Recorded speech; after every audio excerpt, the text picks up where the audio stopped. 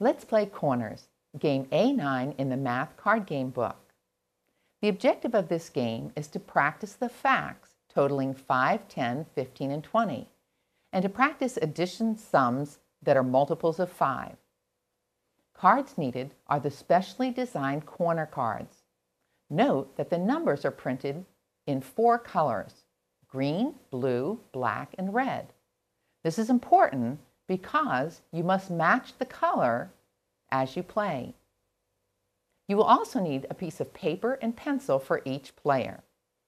The object of the game is to gain the most points and to have the highest score.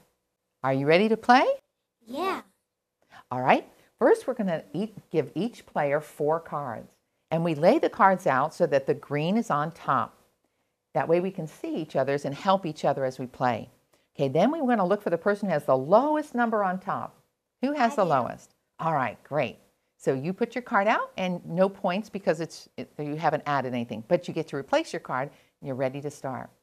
Then we move clockwise in direction. We always want to teach the children clockwise. So that means Caleb, you would go next.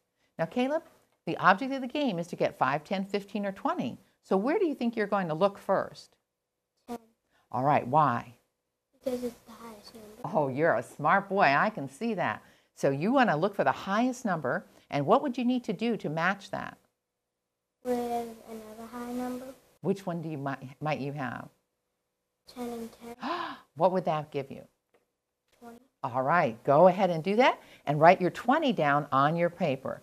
Again, we're matching red to red and we continue. So get a card from the stock, write down your score, and it's your turn. Okay, now I need to mention to you, you have to play off the last card that was played unless there's a corner. We don't have any corners yet. So which one is the highest number here that you can play from? Seven. Okay, seven's the highest number. So you might look at your cards to see if you have something that would make that either a 10, 15. Do you have that? All right, so then you might go to another one. Do you see something you can do? Um, 9 to 1, Very good. What would that give you?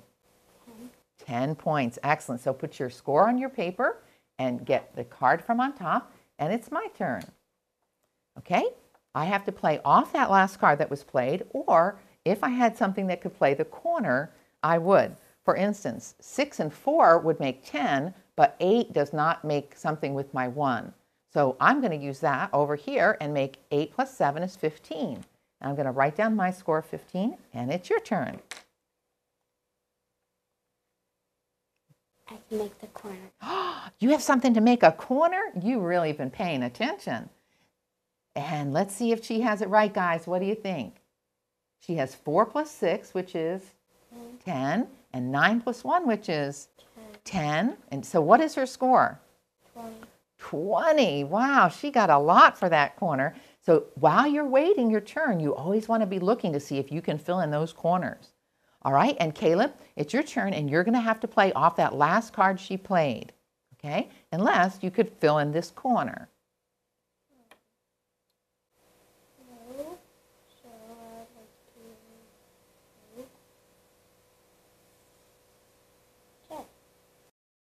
If you need help remembering which is the last card played, you can put a small object like a coin or a ring on it to help you keep track. Also, if nobody has a card that they can play, each player may temporarily take a fifth card from the stockpile so play can continue. To shorten the game for beginners, the winner is the first player who has 100 points. A full game of four players will have a cumulative score high into the hundreds or 200s. This game has been a family favorite for many, and I trust you'll play it for many years to come.